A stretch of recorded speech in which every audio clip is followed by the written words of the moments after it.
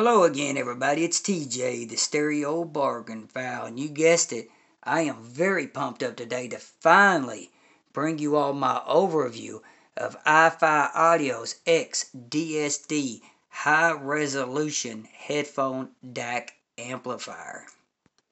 But first, I want to give iFi Audio and Karina, who works at iFi Audio, a big thank you for sending the review sample into the channel so we could have an overview of it today. I'm going to go over a couple of specs. We're going to take a close look at the front of the unit and the back of the unit. Here on out, I'm just going to call it the XDSD. And uh, as you can see in front of you, it has got this really cool, sleek color to it that I absolutely love. It has like a gunmetal gray color to it. Now that steel casing is actually what iFi Audio calls their magnesium alloy aluminum. And that's right, the majority of the casing is uh, built out of this uh, magnesium aluminum, alloy aluminum. Hope I said that right. But on the back, you see here, it's plastic in the very back. Now, iFi Audio had to do that because not only can you have a direct connection up to it in the back, which is a USB A male input, and actually a SPDIF input. That's right, you all. SPDIF input. That's something you normally don't hear with a headphone DAC amplifier, especially being a portable headphone DAC amplifier. But anyways, um, the Bluetooth receiver built inside is ready for iPhones and Android phones. With iPhones, you'll be able to send out a signal from your iPhone or your iPad that is Bluetooth codecs ACC. Now, if you're somebody like me that has an Android phone and you want to use your Bluetooth codecs, you know, using your Android phone as a transmitter, as the XDSD is actually the receiver, you will be able to send out aptX. That's right, y'all, aptX Bluetooth. That way you don't have no connectivity in the back of the headphone amplifier. But all you'll have to plug in is here on the front, which is a 3.5 millimeter input, which uses uh, iFi Audio's uh, S technology. Actually, that's S balanced technology, even though that's a 3.5 millimeter.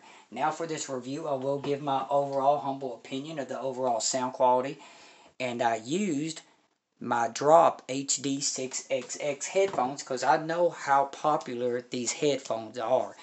And uh, and those headphones, you know, being rated at 300 ohm headphones. Now the XDSD iFi claims that it can draw, you know, drive all the way up to 600 ohm uh, headphones. And I will tell you, to be a portable headphone DAC amp, it is very powerful, especially for its size. I mean, it pushed my H um, my HD6XX drop headphones with ease, you all. I mean, to very, very loud levels good bass down low, very well controlled.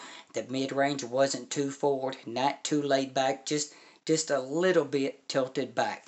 Now the top end, because overall the headphones I was using themselves, the HD6XX, they're more of a mellow and soft, you know, overall sound to them. And that they could use a boost, you know, in the top end. It's not clinically or surgically accurate, the headphones themselves. But when I hooked up the the XDSD, the clarity, the image improved tremendously, especially over what I was using before, which was iFi Audio's iDSD. Now this is a $199 headphone uh, DAC, but it doesn't come with the ability to be able to send Bluetooth or to be able to plug up any kind of SPDIF in the back. So now let's go ahead and um, look at all the different things that the Burr Brown DAC inside the chip and the circuitry can decode because to me this is a little bit future proof because if you're somebody like myself who likes Tidal Hi-Fi and Spotify Premium and you like to play them high resolution files here on the front it is going to tell you what resolution that you are playing. So now I want to go ahead and give you a peek at what all it will decode. So let's get you a better picture of this. Here you all go. This will give you just a little bit better picture so you can see all the different PCM up to 768 kilohertz that play up to MQA and DSD 512 and it does this natively. You know, uh, iFi Audio doesn't use DOP. If you've kept up with this channel, I've talked about DOP before, which is DSD over PCM, where they're actually using DSD um, to run it over PCM frames. The iFi audio doesn't do that because you can lose some of that bit, some of that information you can lose but not with the iFi Audio XDSD, and I think that is outstanding. So now I want to give you all a close look of the front. As you see over here on the far left hand side, we have our 3.5 millimeter input. Then next to it, you got your kilohertz, and it'll tell you what input. As you can see, it's green right now. That green means I need to have a connection in the back. We'll get to that just here in a minute. Then over here, you have your selector so you can select between. Let me get a better, get this in better for you all. How's that you all? Is that much better? Now here you have your selector. Push it once. You got your extra bass because your headphones are a little weak down in the low end. You can give it a little bit more bass. And say you want to add a 3D plus. This is going to help with better imaging and better layering, giving you more of a sense of listening to two speakers or you can have them both on or turn them both off. Now, as you see, when it's green, this means it wants a cable input in the back. Now, if I want to go to Bluetooth, I'm going to hold this down for two seconds and let off. I might have done that too long or not long enough. Here we go. Hold it down again. Now I'm going to hold it down once more. This can be a little bit tricky. Now you want to hold it down for two seconds and you can see here's the Bluetooth. But one really awesome feature um, with the XDSD is not only can you use you know this 3.5 millimeter input for your headphones but you can also turn this into a line output. That's right. If you all would have watched my overview of the iDSD i5 that has the line output but the way you're going to do this let's go ahead and turn it off. Now I'm going to hold down the selector and push in for the power to turn on at the same time. Now when I do that, you seen that it turned white. Now that it's turned white like that, it's going to allow me to use the 3.5 millimeter uh, input as a line output. Now I showed you all before, and that's going to turn off the built-in DAC inside the XDSD and allow you to use it only as a DAC. That's right, so if you wanted to hook it up, let's say to your hi-fi two-channel stereo system, then you would need a cable, something like this monster cable I have. Now here's the 3.5 end, so I would plug it up. Now on the other end, now I showed this in my other video, these are monster cables. They have worked very well for me. These are your analog RCAs. So if you have a preamp or an integrated amp or a receiver that has auxiliary analog input, you can plug it straight up and use the XDSD as a dedicated DAC only, which I think that is a very awesome feature. Very awesome feature because that's, again, it's going to allow you to decode MQA files, which is master quality authenticated, and DSD 512 and PCM up to 768 kilohertz. I mean, the Burr Brown DAC chip built inside is a strong chip. I mean, it can do some serious decoding. But something else that I haven't heard many people talk about, and that is actually using it with your car's stereo system or your truck stereo system. You're like, well, how you do that, TJ? Well, I have an old work truck and I have an aftermarket uh, stereo system in it and with CD, but it has auxiliary input that goes into my head unit in my truck. Now, some of your cars may have an auxiliary analog input. Now mine uses the 3.5 millimeter to 3.5. So you'll use the 3.5 millimeter, plug it into the XDSD, and the other end I plug right into my head unit in my stereo in my car. And I cannot tell you all what a difference it makes using that Burr Brown DAC going to my car's head unit. You know, um, I'm a I'm an audio gearhead. I've always been in audio. I'm a little bit of an audiophile. I'll go ahead and admit it. And the way it changed the overall sound character in my trucks just um it's almost jaw dropping because you know I'm usually just bl- take my phone and Bluetooth the signal. You know, a lot of people do that. But, you know, with the XDSD, it allows me to get, you know, a more refined sound overall. And I haven't heard many people mention that. But you will always need a 3.5 millimeter going in.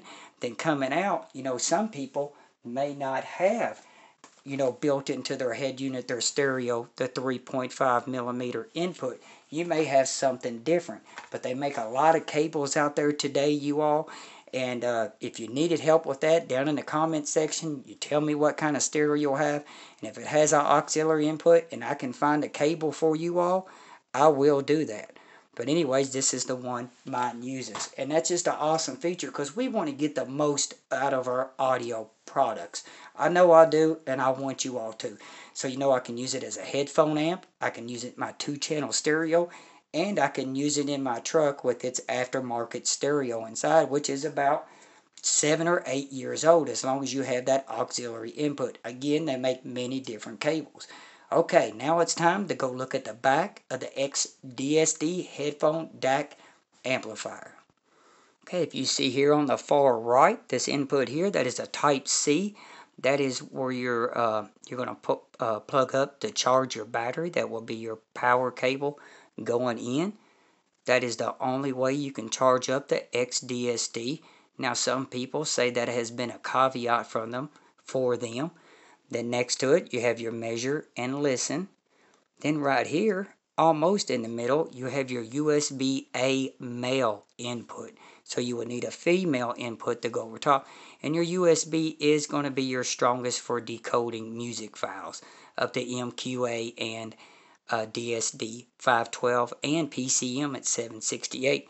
But if we look over here on the far side, this is our SPDIF input and with the iFi XDSD, they are going to send you this little connector here that's called a 3.5 coaxial Toslink combo, which this will plug into the back and then the other link you will hook up your Toslink up to it. And what this allow you to do is to be able to hook up your TV, your game consoles, um, your CD players, and even, you know, your laptops if you have a Toslink output. I thought that was really cool. Now, this was a review sample, and um, unfortunately, when this got sent to me from the last person who reviewed it, they didn't uh, send it back with that cable. It would have been nice if they did. That is no fault of iFi Audios. It's just the last reviewer just didn't incorporate it into the box. But that's okay because I ran it all the other ways I possibly could. But I just think that's a really cool feature to have the SPDIF. Now the SPDIF input with the Burr Brown DAC, it's uh, going to decode 100 and up top to 192 kilohertz at 24 bit. And again, this is going to allow you to hook it up to, you know, game consoles up to it, TV, CD players, DAP players, anything that has that Toslink output that you can go into it, which I call Toshiba link. Now I did use the drop HD 6XX headphones because they're so popular. But you know, to me, those headphones overall are mellow and soft They could use, you know, a boost in the top end. It's not clinical or surgically accurate. But when I hooked up, you know, to the XDSD, I found the clarity in the imaging improved tremendously. Overall, it was digging into the details. It was giving me more life in that top end over, you know, the uh, iDSD right here. What you all need to stay tuned to the very end because there is going to be a drawing to win the iDSD the first time on the channel.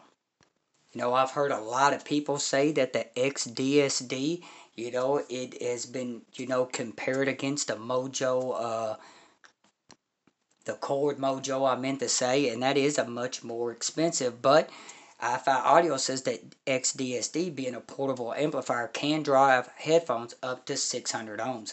I will tell you, it had no problem driving my 300 ohm headphones. I mean, it drove them very loud. I was very impressed of how powerful the XDSD is.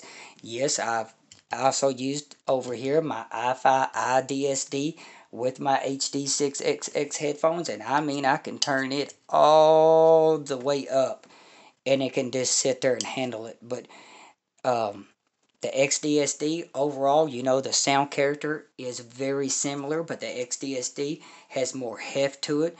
You know, a little bit faster, more articulate bass down in the low end. The mid range of the XDSD and the iDSD uh, both of them have somewhat of this U-shaped sound signature. The mid-range is just drawn back a little bit, meaning it's not too forward. But this doesn't hurt, you know, the vocals at all. The vocals sound really good. But the one thing with the XDSD, I will say, is that top end gave a lot more life to the top end. The, the overall clarity, you know, I got better imaging, you know, better depth altogether with the XDSD. But being twice the price as the iDSD, that is to be expected. And one thing I can always say about iFi audios, they always have good sound quality, good build quality, and just amazing customer service. And that goes a long ways, especially in today's world. That goes a very long ways. I want to thank iFi Audio again. I mean, this has been an outstanding little headphone DAC amplifier that you can Bluetooth to. Again, if you're using an Android phone, you will want to order you an you know on the go cable with your Android phone, which is to be your female Type A, and then there's your USB C on the other end. Now, if you're somebody that is using an iPhone, if you're using that iPhone, here are the lightning cables here that you're going to want to use. And those are very good cables also. But these, these two on the top, is for the iPhone. The one on the bottom is for Android. I actually have two of these on the go. Very good build quality. But anyways, yes, when I had it directly hooked up, it did sounded better using the Bluetooth. But using that Bluetooth aptX, I was really impressed. It was almost like CD quality. And nowadays, you know, people don't like, you know, especially portable, they don't want to have a lot of cables everywhere. So having that built-in Bluetooth receiver is an awesome feature to have in the XDSD. But yes, I think it's a good bang for the buck, you know, being $399 US. Yes, it punches above its price point. And I think it just looks gorgeous. I mean, having that full hefty sound, a little bit more weight, a little bit more liveliness in the top end that isn't fatiguing, especially with the, you know, HD6XX. I just think it's an outstanding headphone DAC amp. And I want to give a big thank you to iFi Audio for sending me their review sample. Until next time, this is TJ, the Stereo Bargainphile. So yes, this is the little bonus section over here to your all's right.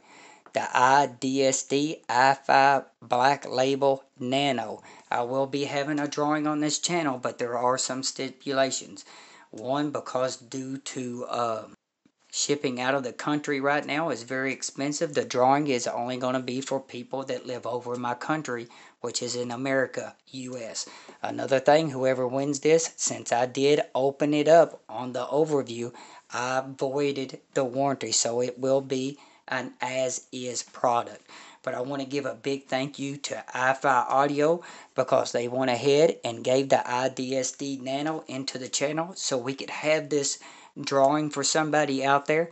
So down in the comment section, if you want to have a chance to win the iFi Nano, Nano iDSD Black Label, just write your name down. I will, and I will put everybody's name in a drawing. I will draw the name, then I will come back to your comment and tell you that you won and I will give you my email address and I will need your address to send it to you.